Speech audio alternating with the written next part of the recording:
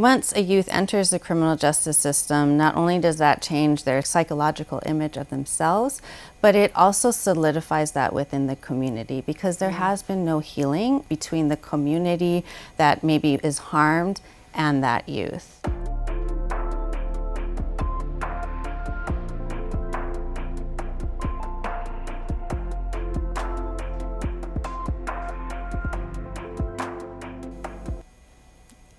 Kako, I'm Ashley Lukens, co-director of the Funder Hui. And today we're going to be having a two-part conversation on the future of trauma-informed care here in Hawaii. I'll be joined by Tia Hartsock of the Office of Wellness, but my first guest is Dr. Lorinda Riley. Welcome. Thank you for having me.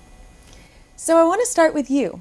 Tell us where you're from so I consider myself to be from Kahalu'u on the windward side of Oahu. That's where my mother comes from. But um, I was born in Fulda, Germany, so I have had many years um, uh, living abroad and then spent quite a bit of time on the continent going to school as well. And I know that the your journey towards trauma-informed care began when you were in law school on the continent. So tell us a little bit about your education. Yeah, so I um, went to law school at the University of Arizona, um, and uh, they really focused on Indian law there. And I, part of my ancestry is Native American as well as Native Hawaiian, so I was really interested in exploring that a little bit more. Um, and we had the opportunity there to work with many different tribal nations. And I noticed that a lot of those tribal nations, they have their own judicial system, their own court system, and it incorporated a lot of traditional restorative justice concepts. Restorative justice is a term I think we hear, but a lot of folks don't understand. Can you help me understand what is restorative justice and what is an, it an alternative to? Right, so our um, current justice system in the United States is very punitive. We really focus on um, punishing people for crimes and have this idea that just by putting them in jail, we are somehow rehabilitating them. Restorative justice, on the other hand, really focuses on trying to restore the victim and also ensure that the perpetrator um, has, um, I guess, be reintegrated back into society. So it's really about the healing journey for both parties.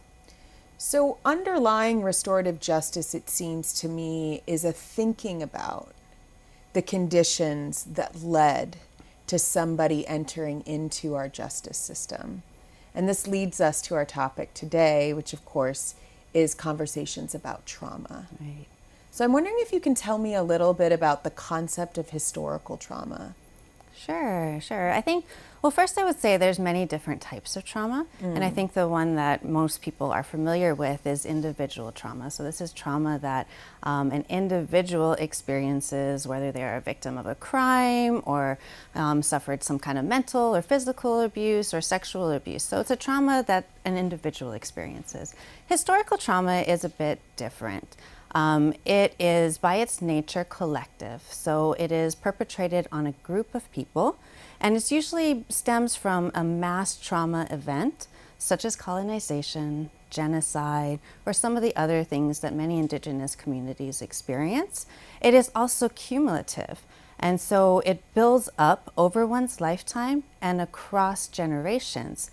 And so somebody who maybe was not alive at the time that colonization originally occurred can still feel the effects and the impacts of that trauma. And it builds up over time so that um, later generations actually carry with them more trauma than former generations.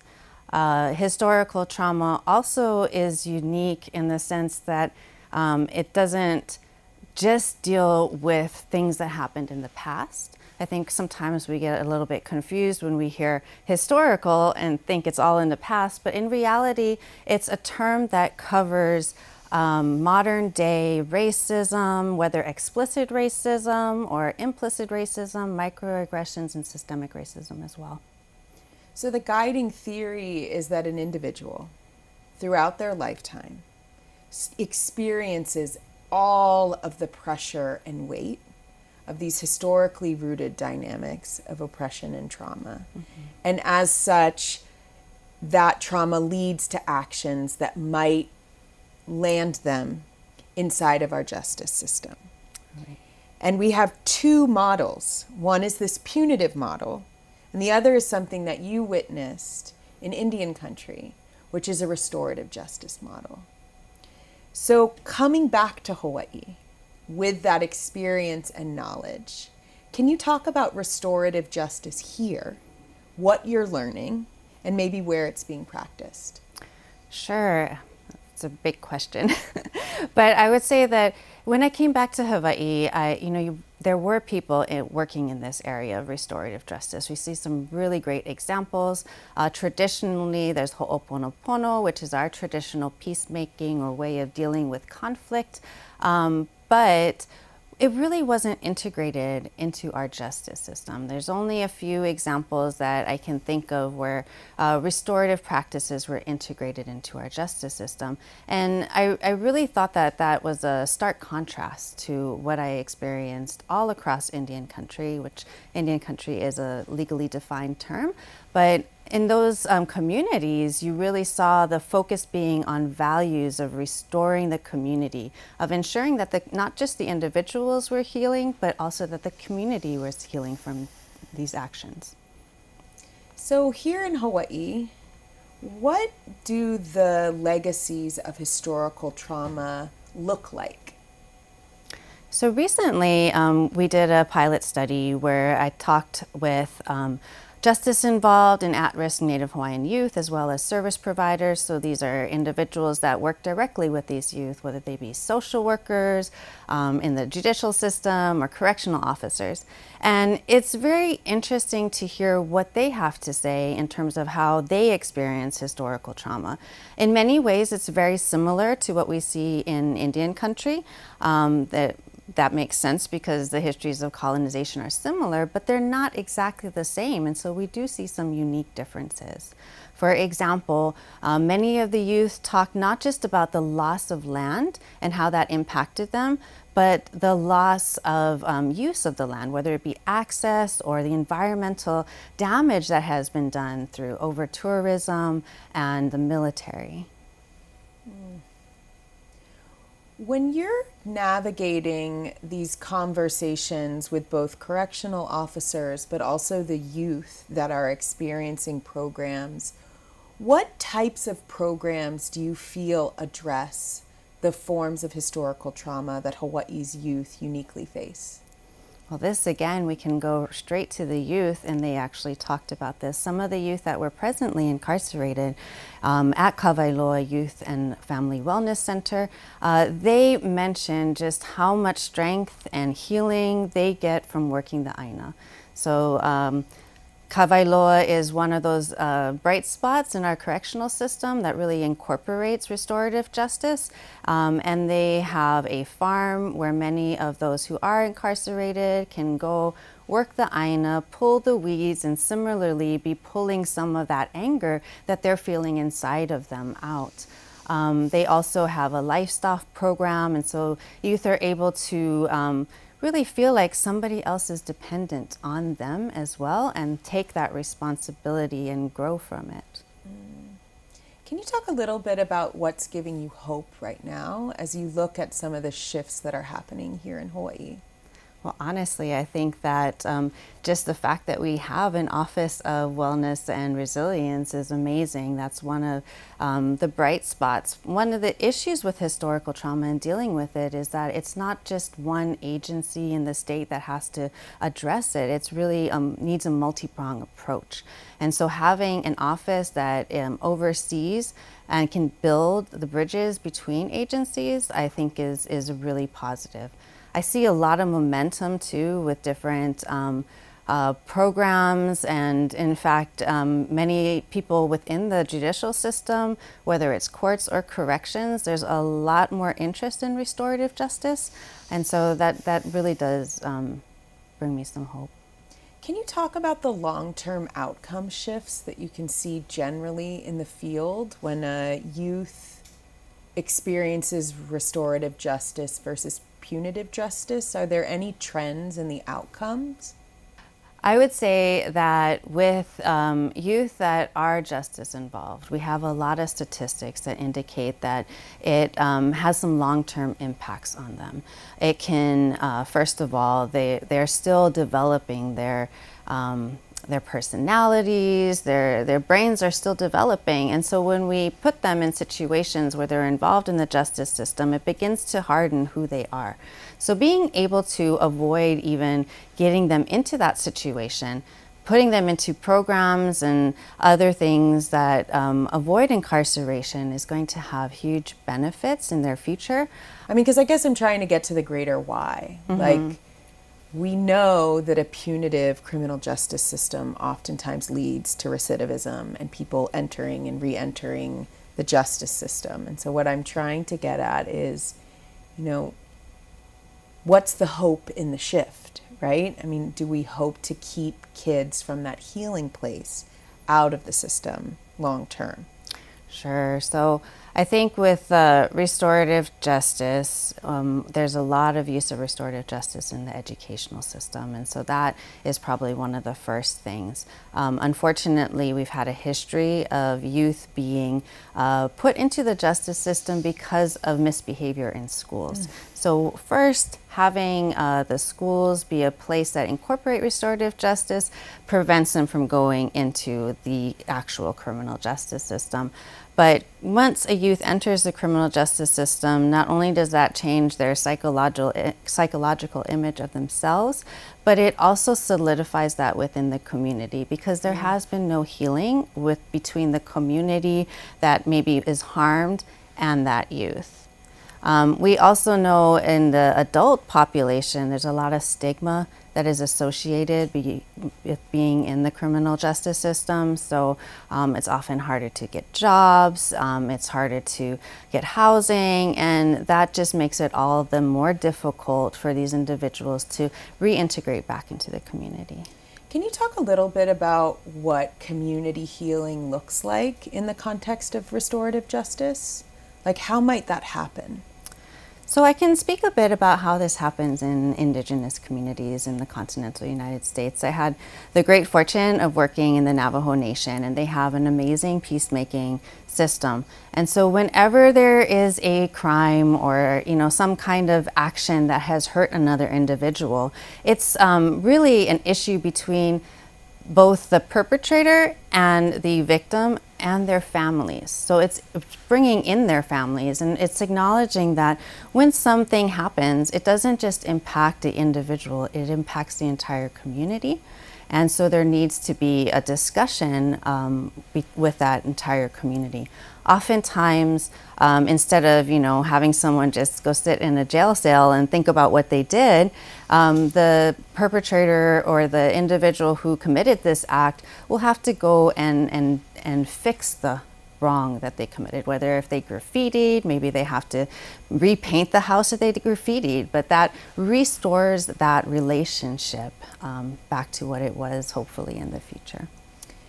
So tell me a little bit about the findings of your current research.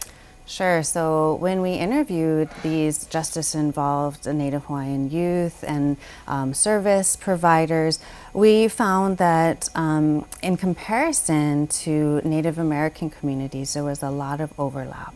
Um, however, there were some really strong differences, and I think those differences really speak to the colonial history and legacies of Native Hawaiians. And um, one of the things that was really interesting was that all the Native Hawaiian youth felt pride about being Native Hawaiian. Mm. They, uh, many of them had gone through the Kaiapuni schools, they could Olelo Hawaii, and they really drew strength from that. Um, but not all of them had that same opportunity. So programs that really um, focus on rebuilding and reinstilling pride in community, um, language learning, dancing hula, uh, practicing lua for the kane. You know, those are programs that are going to um, be sources of strength in times of crisis. Hmm. Can you tell me a little bit about what the symptoms of historical trauma look like?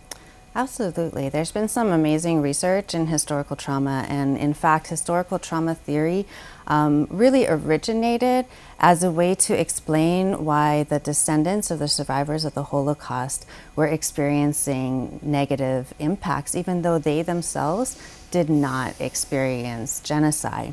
Um, and out of that, uh, Maria Yellow Horse Brave Heart did some research and applied it to the indigenous communities, mm. um, largely within her own community in the Great Plains Lakota Nation.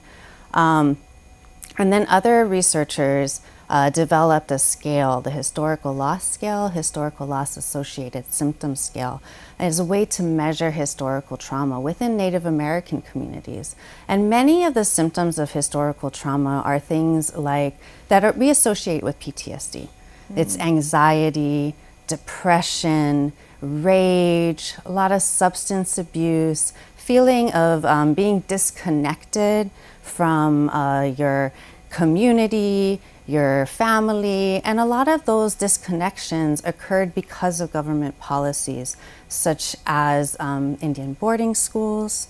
Um, or broken treaties, or um, having to live on reservations. So, um, those are some of the symptoms that we see in Indian country. Um, and again, here in Hawaii, there is quite a bit of overlap, but at the same time, there are a lot of differences, you know, because we don't live on reservations. You know, we we don't really think of our educational system as being a boarding school system.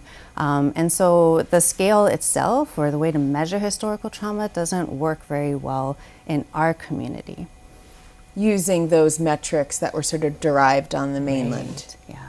And so they actually have tried to apply that scale here in Hawaii. And it, it, it, works, but it doesn't quite operate quite the same way. And in fact, they've had to remove certain questions because it just didn't make sense here.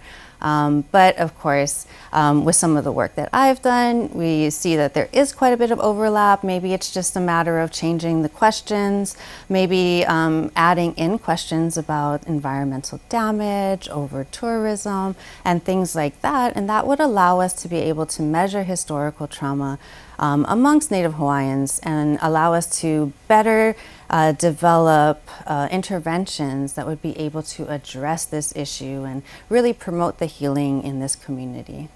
Because in the long run, I think what I'm hearing, both from the understanding of historical trauma as these accumulated structural impacts of displacement and pain and colonization, uh, when that understanding is guiding the solutions, we start to see less children and youth ending up engaged in our criminal justice system. But we also see the communities around that youth and the future generations of those communities healing simultaneously. And that's an amazing point because what we saw um, was that many youth are experiencing historical trauma, but they have they have family members that are dealing with the same thing. In fact, there were some youth who shared that their parents would never go to their school, would never speak up for them because every time they went there, it reminded them of their schooling mm. experience. And so they really were disengaged. And so, of course, that, you know, just perpetuates um, the, the trauma that the entire community is feeling. Mm. Are there programs that you can point to that the community might get involved with to support sort of this broader um, healing, even if they themselves are not engaged in the criminal justice system? Absolutely. There's a lot of programs that I, I think address um, healing in the community. And oftentimes it's individuals, dedicated individuals that are members of the community. They see a need and so they just go out and do it. But a lot of Malama Aina programs working with the Aina programs that you know really bring the community together um, i think are beneficial and then programs that focus on building back that cultural strength um, many of these cultural factors are protective factors and things that we turn to when we're um, under stress. And so, the more that we're able to build up these cultural practices, the better. And I think also, you know, we think of this as a Native Hawaiian topic mm. and issue, but really many of these things, Malama Aina, it can benefit everyone. Uh, so many people, whether you're Hawaiian or not, enjoy being out on the land, enjoy working in the lo'i, and get a lot of satisfaction from that. Yeah, I can imagine that many other youth that are non Native Hawaiian but engaged in our criminal justice system can appreciate yes. the cultural values that come with connection to land, connection to another person, mm-hmm. and sort of collect, connection to something higher than themselves, whether that be their culture. Um, I really appreciate you joining us here today. Um, we'll be right back with a conversation with Tia Hartsock from the Office of Wellness and Resilience. Thanks so much.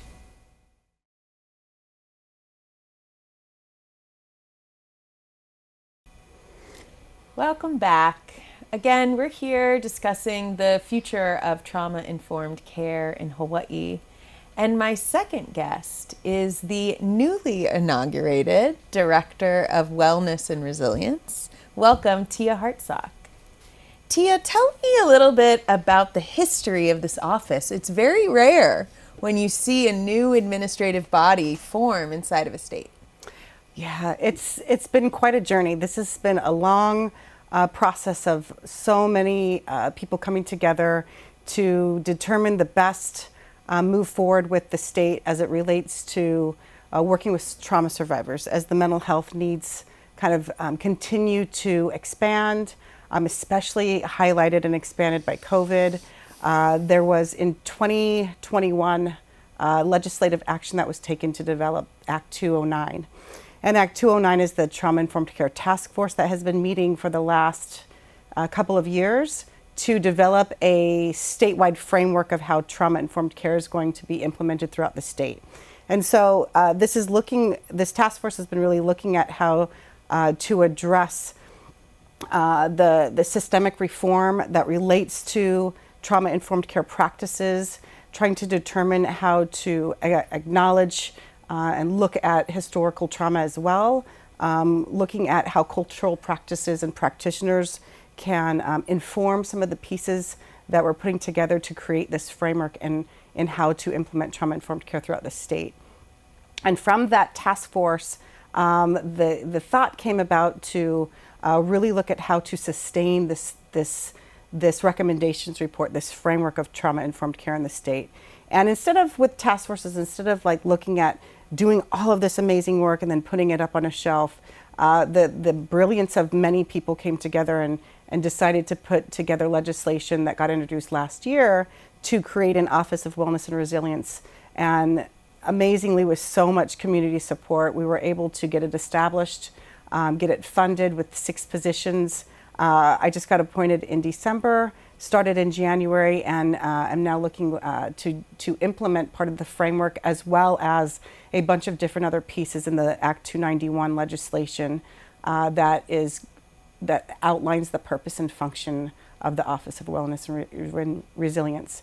It's housed in the Office of the Governor, so we will um, we are housed there on at the Capitol to uh, to do this work and embark on this you know continued process of creating a trauma informed Hawaii. Can you tell me a little bit about what kinds of organizations and agencies were originally engaging in creating first the task force and then ultimately helping drive legislation to form the office? Sure. So the Act 209 task force legislation outlined 11 agencies that uh, are member agencies to be at the table to discuss and create this framework, to define what trauma is for Hawaii, to look at cultural practices that are effective and building upon um, resilience within the state. And those 11 state agencies and, and nonprofits and community organizations have been meeting.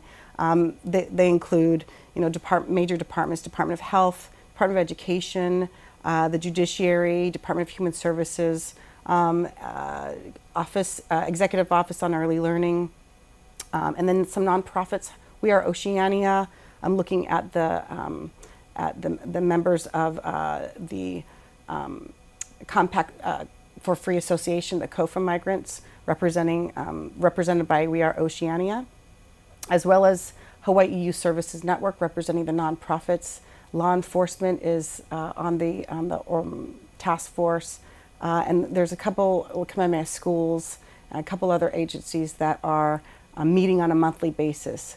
We are also so lucky to have the engagement of multiple community members representing different nonprofits and state agencies. So as we meet monthly, there is, I, I was the chair, I'm Department of Health is now chair um, since I've gotten uh, in the Office of Wellness and Resilience.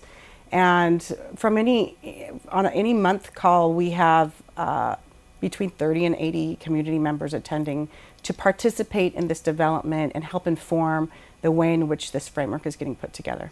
So, was the sense of the departments who were originally engaged in convening the task force and ultimately those agencies that are now engaged in the implementation of the framework, did they do this from a place that the current programs were failing to impact the youth that they were trying to serve? Was there a sense that we had to do something different and that difference was starting to recognize trauma?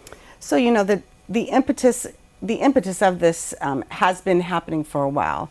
Um, the the trauma that is pervasive throughout our communities has really been um, uh, we've, we've been looking at it from a community perspective, from a state perspective, um, from a nonprofit, even a federal perspective, on how to best address the needs of people and through mental health treatment, through through community partnerships, uh, e- even with the reform efforts across the state, with uh, within the departments, and, and I failed to mention um, the Department of Public Safety, which is um, Department of Corrections and Rehabilitation now.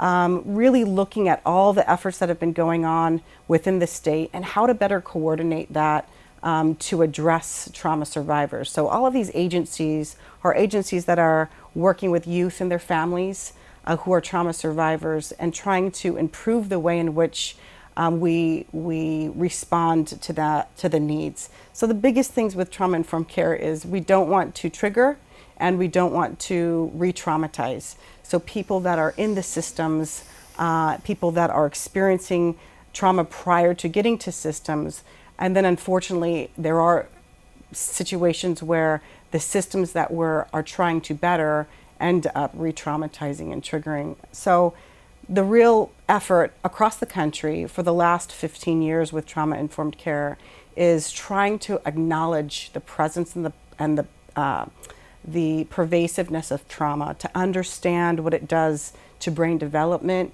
how it impacts the way in which our um, our, our brain thinks, how it impacts the way that we we respond to environmental stimulus, um, how we respond to traumatic stress and really help the workforce, um, not only the ones who are providing the service, the recipients of the service, but the ones that are providing the service as well, to help the whole system um, better uh, approach people who are survivors of trauma, create policies and programs that will um, like concretely try and change the way that we look at behaviors and get to the root cause of oftentimes what we see overrepresented in our systems this this this lifetime of complex experiences that are trauma based hmm.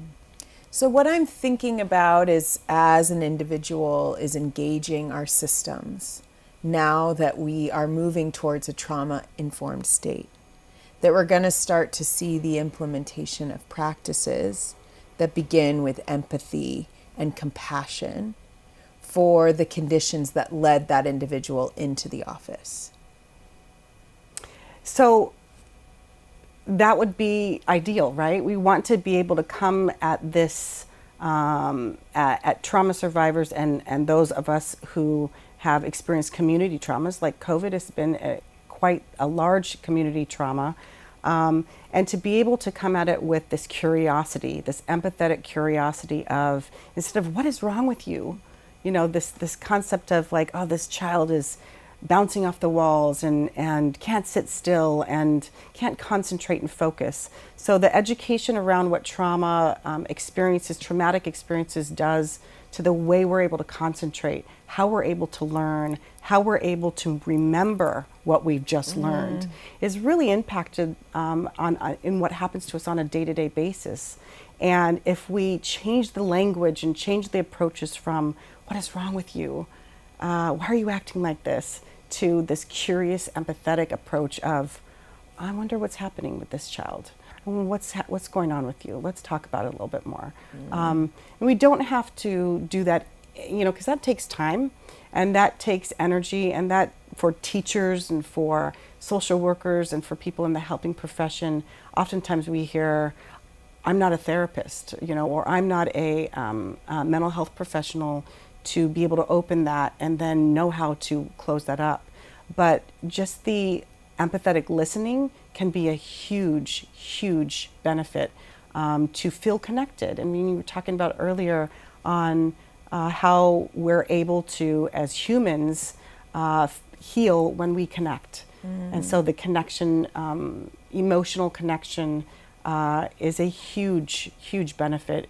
Just even with empathetic listening, that can help somebody start and, and continue through the process of healing. Mm. So I've we spoke a little bit with Dr. Riley about how trauma informed care um, would support our criminal justice system. I'm hearing a little bit about how it might show up in education. Where else do you see the Office of Wellness and Resilience really focusing their work? Um, so trauma informed care, you know, is is is a strategy, um, and the principles in practice can be used as strategies everywhere. So uh, it's the it's the way in which we're able to um, look and see how, like, say for example, in the child welfare system, looking at child welfare reform and understanding the processes of what are in practice of removing children, mm-hmm. of identifying abuse, of responding with police, in the questions that we ask, in the way in which we um, elicit stories versus you know going question by question by question what kind of environment we create for those families and youth that are experiencing sometimes the worst day of their life. Mm. And when we encounter them to know that this is this this is one of the worst days of these people's lives, how do we come at this with um, uh, uh, with this empathetic approach to be curious and create safety,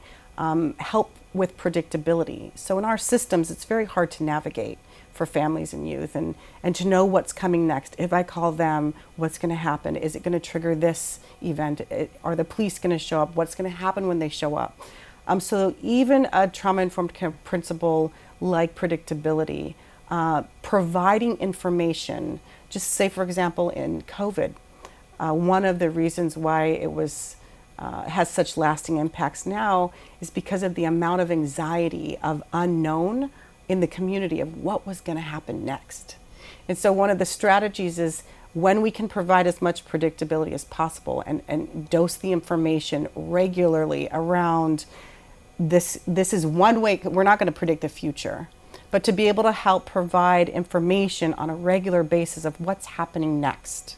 So, in child welfare, for example, or, or the court systems, um, to be able to say, so first this person's going to show up and then and and repeat it because when we're stressed right we have a hard time remembering. So the repetition of language and messaging um, the repetition uh, of our of the steps that are going to happen who's going to be in contact with you when that's going to happen what they're going to do all of that helps with reducing anxiety and can help the experience to not be so traumatic mm. So I'm hearing that trauma informed care is a set of strategies that agencies and processes can start to use to center the individuals going through those processes. And I'm hearing child welfare now is another one. Can you talk a little bit about some of the other processes involved in trauma informed care or the strategies that you see folks starting to adopt, either here in Hawaii mm-hmm. or nationwide? Yeah, great question. Uh, one of the favorite, one of my favorite things to kind of uplift around uh, trauma-informed care strategies and principles is the concept of peer supports um, and utilizing people with lived experience in the system to inform practice. So, having somebody who's experienced uh, system involvement in the child welfare system or the criminal justice system or the mental health system uh, and, and have their voice be at the table. So, voice and choice are a big thing in trauma informed care, and so is peer support. So, getting people in, the, in our systems that have experienced it, getting their feedback on it, getting their input, but also getting them to be one of the first points of contact with a family and a, or a youth within the system so that somebody looks like them, somebody understands what this experience might be might feel like and they can be able to connect with them um, uh, and engage with them um, and help them through this system by answering questions on a peer-to-peer basis this is a huge trauma-informed care principle mm. It seems it seems not obvious but it seems so compelling and so ground shifting um, and it's amazing that you were able to get both the task force and now an office through the legislature. What has the pushback been? Why are people skeptical of trauma informed care? Where's the resistance showing up? So I think, you know, when, when we're looking at asking people to change behavior, the same way that in our systems we ask people to change their behavior, we ask clients to change their behavior on a daily basis. Um, so when we're asking people to do work a different way or to engage with even each other in a different way, um, it, it is common. Some of it is very much common sense, uh, but some of the pushback, you know, I, I believe um, we've we've gotten a little bit pushback, but I think COVID's really helped collectively acknowledge that okay, it's not just those people over there that are experiencing this. This is everyone, and we all now better understand, unfortunately, uh, what it feels like to operate in prolonged exposure to stress and this prolonged exposure to be unpredictability, the new strands, this new way of transmitting, how long will it take? You know, all of these pieces can um, impact the way that we show up on a daily basis. And so some of the resistance is just around like, is this going to be more that I'm going to have to do? Is this just more work for me. So the engagement really looks at uh, is a huge step. Um, and the education around that when we institute some of this, you see in different uh, in different jurisdictions what, where trauma informed care has been instituted, you see incidences decrease. You see engage in involvement in systems decline. You see anxiety and depression decline, and the behaviors that uh, that are um, that uh, are surround those um, uh, those needs. So you see things in, especially in the criminal justice system, like um, the sanctuary model.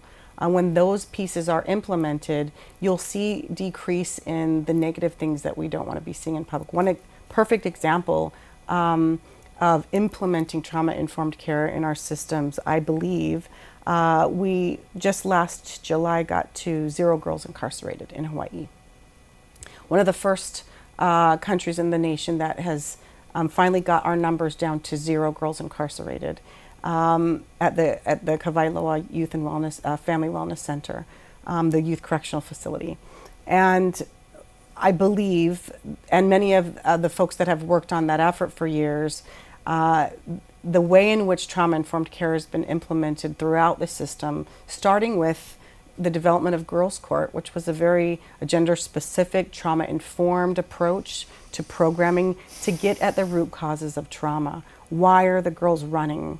Why are, why are they truant? Why do they keep getting uh, you know, um, probation violations from um, statutory offenses? Um, and so, so these are pieces that we're looking at um, implementing gender specific and trauma informed programs through the courts and replicating that throughout the system through collaboration, through creating peer supports, through empowering voice and choice in the system uh, has has all been this larger effort to decrease girls being incarcerated. Yeah, I, I was had the opportunity to visit Pearl Haven on the north shore of Oahu and really saw their trauma informed approach to helping young girls who had been trafficked, and it felt so obvious to me. Mm-hmm. I mean, an 11 year old doesn't choose to engage in prostitution, doesn't choose to um, get wrapped up in all of the forms of criminality that su- support um, Right. the trafficking of girls. And yet, so often those girls are the ones who end up inside of the criminal justice system for the sort of tertiary behaviors that happen. And Hawaii was one of the highest, had one of the highest incarceration rates about 15 years ago uh, of incarcerating um, juveniles for um, probation violations uh, that initially started with um, running away, truancy. So we saw a lot of girls getting, um, because we were trying to keep them safe. So it was this system that was responding with, with good intent the judges were responding to, to do their best to keep these girls safe.